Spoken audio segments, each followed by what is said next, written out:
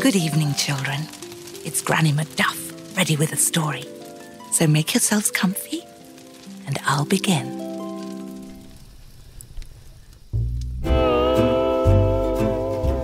Once upon a time, there lived a woman who had three daughters. The eldest was called One Eye because she had only one eye, which sat in the middle of her forehead. The second was called Two Eyes because she had two eyes, just like the rest of us. And the youngest, Three Eyes, because she had three eyes. Two eyes, just like us, and one eye in the center of her forehead. However, because Two Eyes looked just as other humans did, her sisters and her mother, who had nine tiny eyes, could not stand her. They would say to her, You, with your two eyes just like the humans, are common. You do not belong to us. They would push her about and order her around, and they gave her nothing to eat but their scraps from dinner. They did everything in their power to make her unhappy. How mean they were. And so it came to pass that Two Eyes was sent away every day to take the family's goat out to pasture. Every day, Two Eyes walked to the faraway fields and kept watch over the goat. And every day she was always quite hungry, since her sisters gave her so little to eat. One day, she sat down on a ridge, which was covered in beautiful, thick grass, and began to weep. Then a voice asked, Why are you weeping, child? Little Two Eyes stopped her sobs and looked up. A woman stood above her. Have I not reason to weep when I have just two eyes like the rest? My sisters and mother despise me for it and give me nothing to eat but the scraps they leave after dinner. And I am so hungry. And so I ask again Have I not reason to weep? Wipe your tears, little one and I will tell you a secret, and it will stop you suffering from hunger ever again. All you must do is say to your goat, Bleat, my little goat, bleat, cover the table with something to eat. And then a little table will stand before you, and it will be covered in the most delicious food you have ever tasted. And you may eat as much of it as you like and when you have had enough, all you must do is say, Bleat, my little goat, bleat, I pray. Take the table quite away. And then the table will vanish from your sight.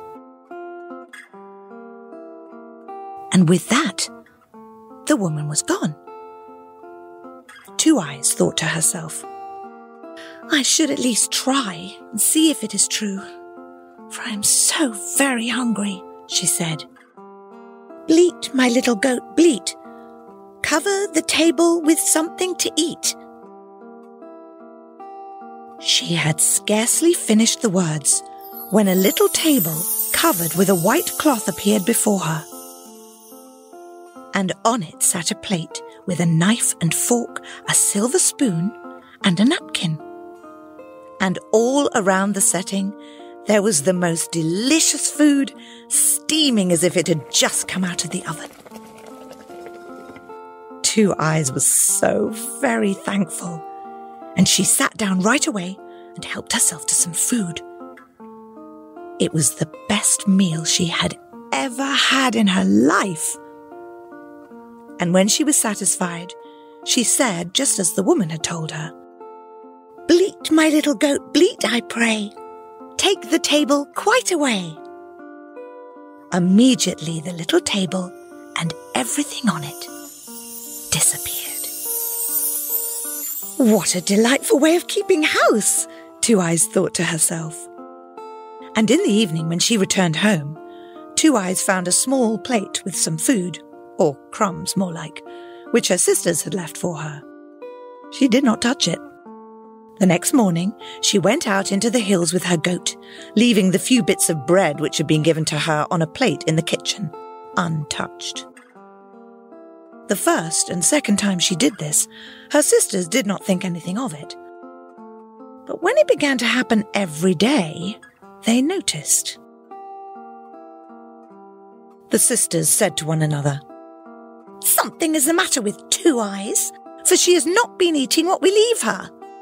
This is quite unusual, as she used to eat up everything that we gave her.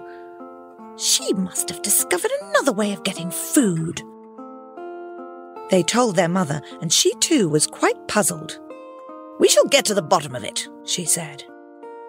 So that they might learn the truth, they devised a plan in which One Eye would go with Two Eyes to take the goat to pasture.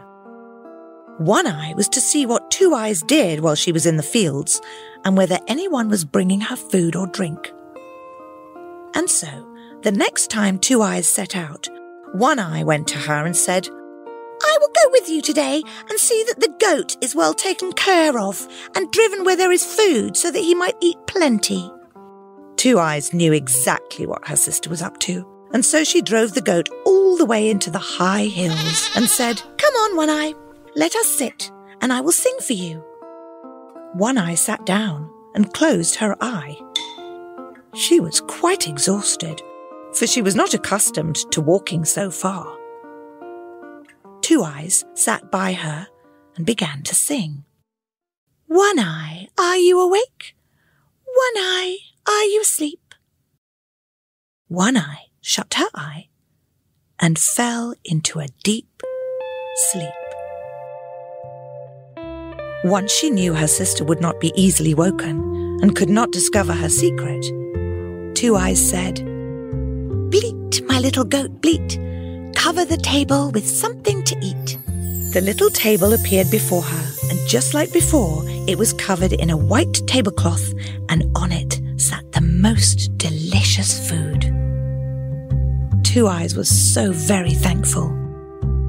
She seated herself at the table and ate and drank until she was full, and then she cried again. Bleat, my little goat, bleat, I pray. Take the table quite away and in an instant it was gone.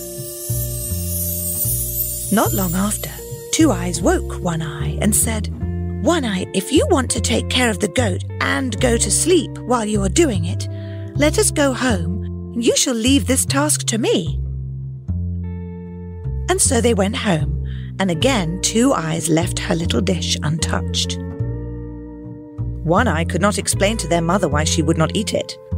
But when her mother pressed her for answers, One Eye admitted, I fell asleep while I was in the fields, Mother. The next day, their mother said to Three Eyes, This time you shall go and see if Two Eyes eats anything when she is out, and see if anyone brings her food and drink. She has not eaten in days. She must be eating in secret, and I shall hear of it. So Three Eyes went to Two Eyes and said, I will go with you to see if the goat is properly taken care of and brought to where there is food for him. But Two Eyes again knew just what Three Eyes was up to, and again drove the goat into the high hills. When they reached the meadow, Two Eyes said, We will sit down here, and I shall sing to you, sister. Three Eyes was quite tired from the walk, just as One Eye had been. And with the heat of the sun beating down on her, she could barely keep any of her eyes open. Two Eyes began to sing just as before. But instead of singing, Three Eyes, Are You Asleep? She mistakenly sang, Two Eyes, Are You Asleep? She did not realize her error, and so she continued, Three Eyes, Are You Awake? Two Eyes, Are You Asleep? Then, two of the eyes which Three Eyes had softly closed and fell fast asleep.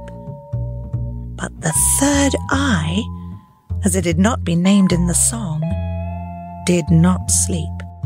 In fact, it was wide awake. And Three Eyes cunningly closed the third eye to pretend it was asleep, but kept it open just a bit, just enough so that it could see everything Two Eyes was doing. Once Two Eyes thought that Three Eyes was fast asleep, she again said, Bleat, my little goat, bleat, cover the table with something to eat. Then, when the table was set, she ate and drank as much as her heart desired. And when she was satisfied, she said, Bleat, my little goat, bleat, I pray. Take the table quite away. Three Eyes saw everything, but still she did not stir. And not long after, Two Eyes woke her and said, Have you been asleep, Three Eyes?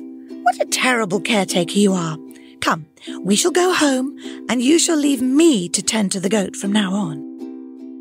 When they returned home, Two Eyes again did not eat, but instead went straight to bed. Three Eyes told their mother, I have found why she does not eat our food. While she is out, she says to the goat, Bleat, my little goat, bleat, cover the table with something to eat.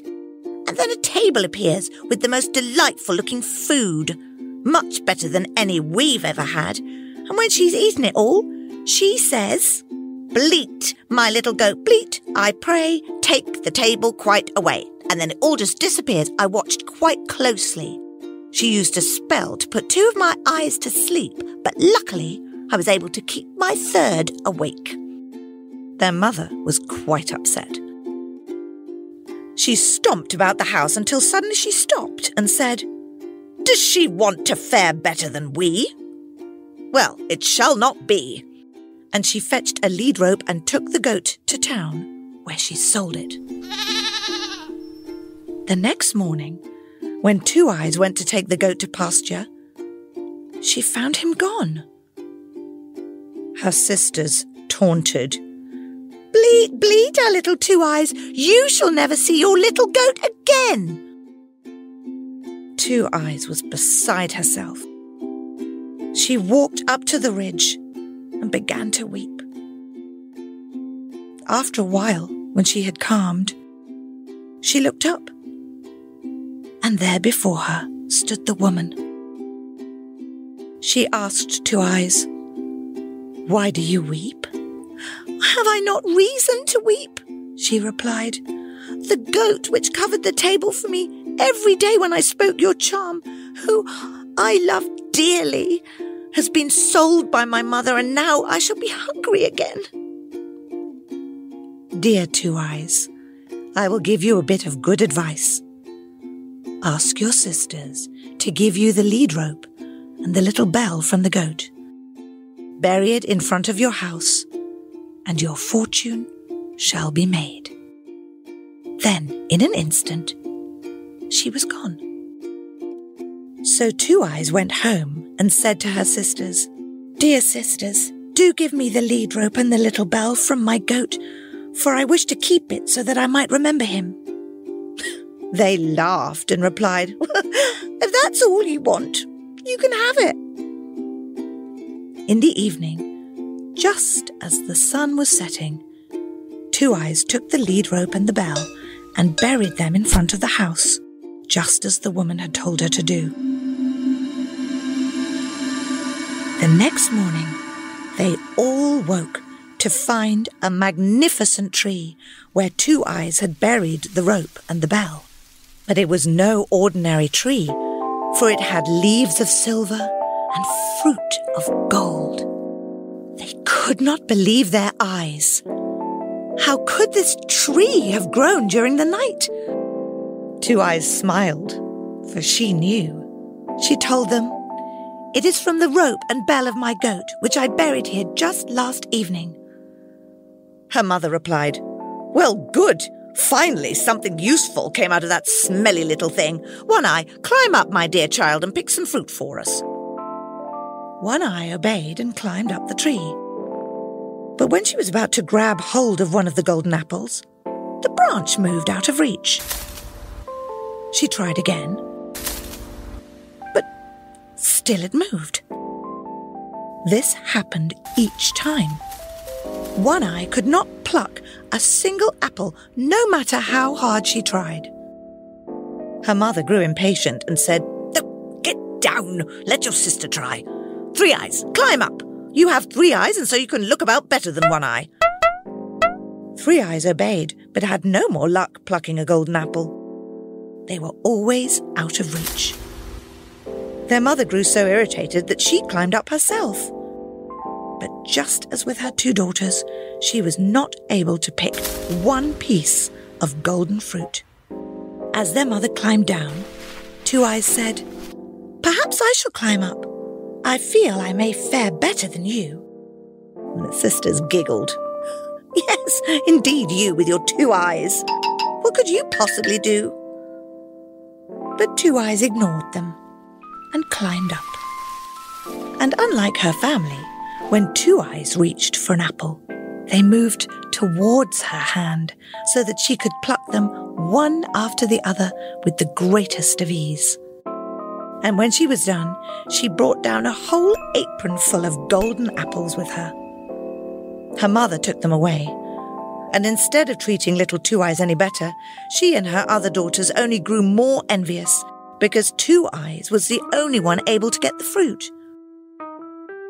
One day, as they were all standing together by the tree, a young knight rode up on his horse. Quick, Two Eyes, cried her sisters. Hide yourself under this barrel and don't let anyone see you, for you will disgrace us with your two eyes and they lowered the barrel on top of her so that she was out of sight. The knight came closer and admired the tree. He was quite handsome. He said, To whom does this magnificent tree belong? Anyone who might give me one branch from it might ask in return for whatever their heart desired. One Eye and Three Eyes replied that the tree belonged to them and that they would be happy to give him a branch. They both tried and tried, but it was no use. They could not do it, for both the branches and the fruit moved away from them every time. The knight remarked, How odd it is indeed that the tree should belong to you, and that you should still not be able to have any piece of it. They assured him the tree was theirs, and while they were saying so, Two Eyes, so vexed at her sisters for not telling the truth, rolled a few of the golden apples from under the barrel to the feet of the knight. When the knight saw the apples, he was surprised. Where do these come from? It is from our sister, but you see, she has but two eyes, and therefore she is not to be looked upon, cried the sisters. Two Eyes climbed out from underneath the barrel and stood before the knight. The knight was taken with her great beauty. I do believe that you can most certainly give me a branch from the tree. Yes, she replied, I certainly shall be able to, for the tree belongs to me. And so she climbed up and with the greatest of ease broke off a branch with shiny silver leaves and golden fruit and gave it to the knight. And what shall I give you in return, Two Eyes? he asked. Alas, she answered, I have known little but hunger and thirst. My life is naught but grief and want from morning till night. I ask that you take me with you and save me from these things. I should be forever grateful. It would be my greatest honor. So the knight lifted Two Eyes onto his horse and took her home with him to his father's castle.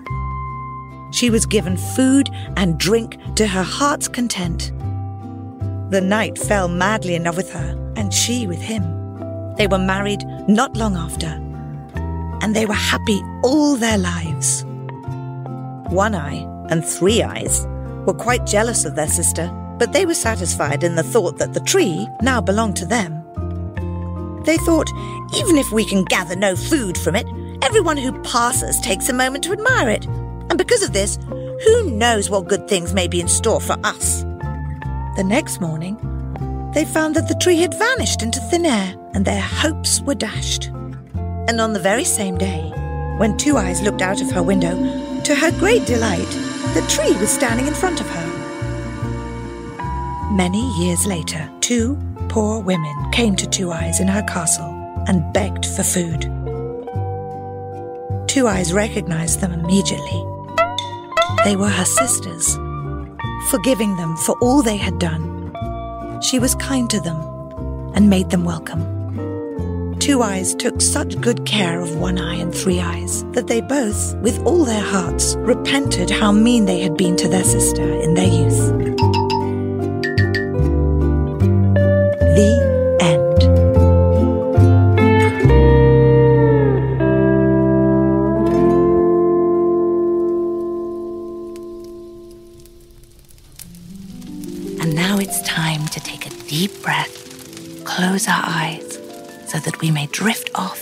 World of our own adventure. Good night, children.